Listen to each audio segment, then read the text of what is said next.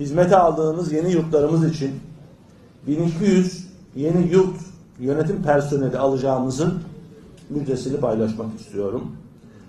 Alım ilanınıza ilişkin detaylar bu gece resmi gazetede yayınlanacak ve buna başvurmak isteyen vatandaşlarımız E-Devlet Kariyer Kapısı üzerinden başvurularını yapabilecekler.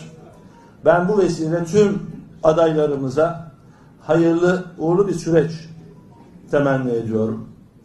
İnşallah her biri bu anlamdaki süreçleri başarıyla tamamlarlar ve ailemize katılma noktasında güçlü bir adım atarlar.